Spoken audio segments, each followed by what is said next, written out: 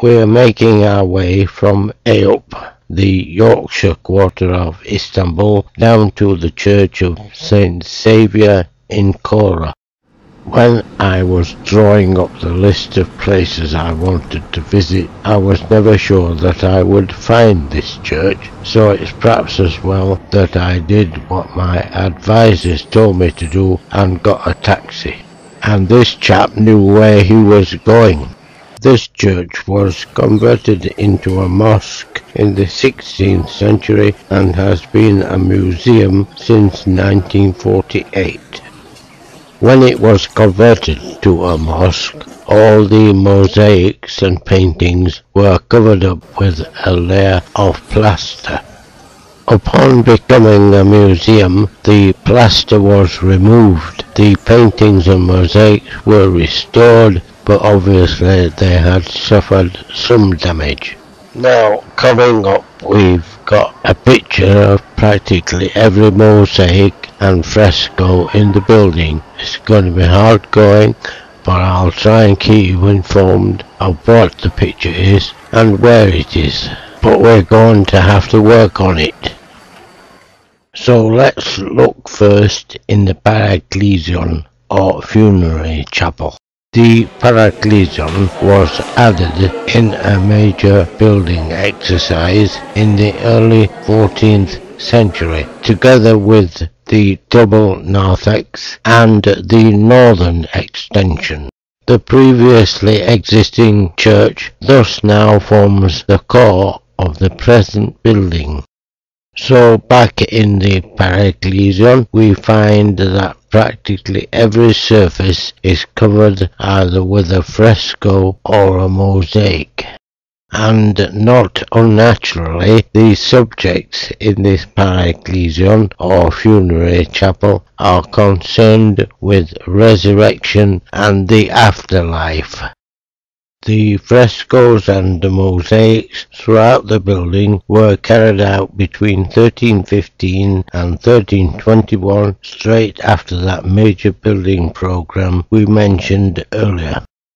The money for this work was provided by one uh, Theodore Metochites, a powerful Byzantine statesman. Later we'll see a mosaic of him presenting his church to Christ enthroned. The original church here was built in the early 5th century. It was built as part of a monastery just outside the city walls of Constantine. Hence the title in Chora which means in the fields, rather like St. Martin's in London.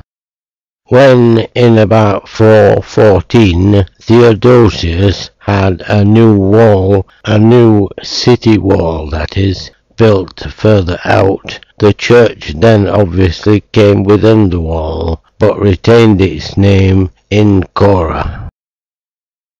A major rebuild was carried out around 1080 at the behest of Maria Doukaina, the mother-in-law of Alexis I Comnenus. It needed major repair work in the 12th century after an earthquake, and this really brings us back to the major rebuild we mentioned earlier, which took place in the 14th century. Unlike most buildings of this type, it's had minor modifications carried out almost continuously throughout the centuries, especially after it became a mosque in the 16th century. I am told that there are other buildings like this in Istanbul remaining from the Byzantine era, but I am assured that if you can only visit one, then you must visit this one. We're leaving aside, of course, Hagia Sophia, which we hope to see later. And now we're in the narthex, the outer narthex, and as you will see, the frescoes, especially the ones on the ceiling, have suffered damage, and a lot are missing. Incidentally, we keep referring to the Byzantine era and the Byzantine Empire. I thought it worth mentioning here that the name Byzantine Empire was first used in 1557, that is, after the empire had gone. In that year, a German historian published, and I loosely translate, a history of the Byzantine Empire. But the term Byzantine Empire did not come into general use until the 19th century. The term uh, Eastern Roman Empire is also commonly used.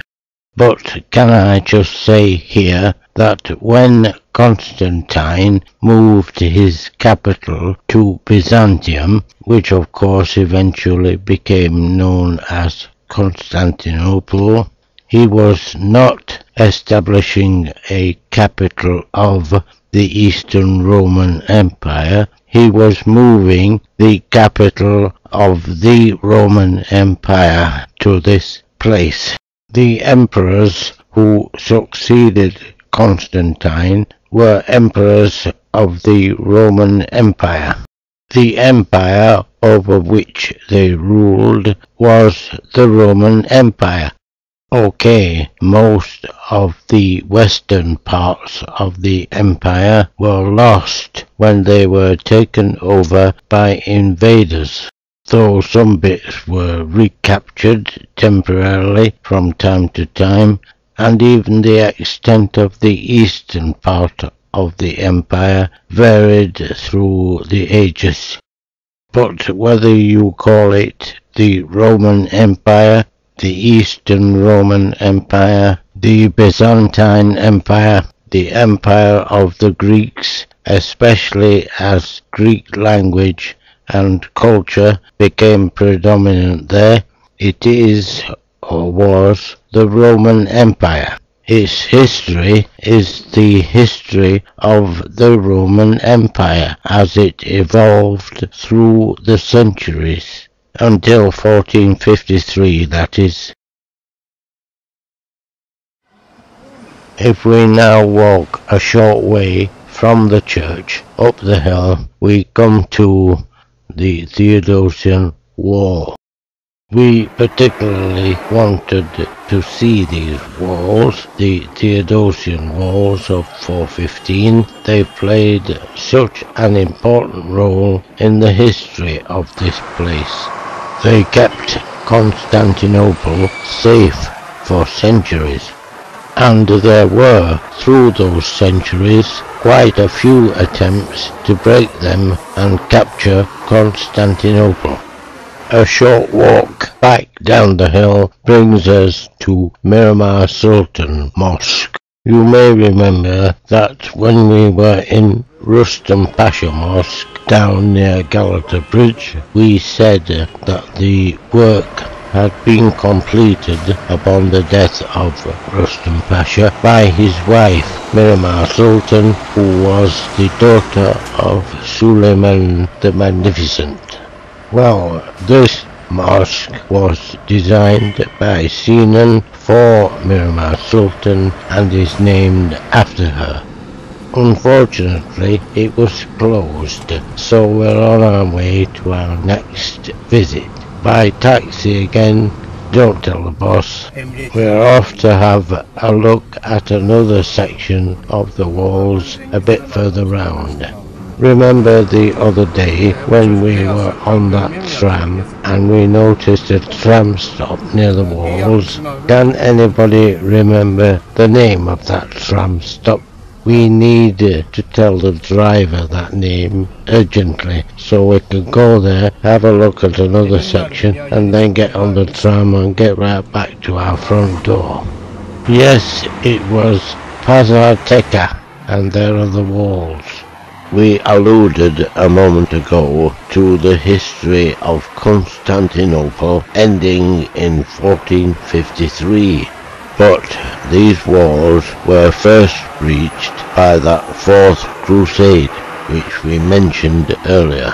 Yes, they were attacked and breached by an army of Christians.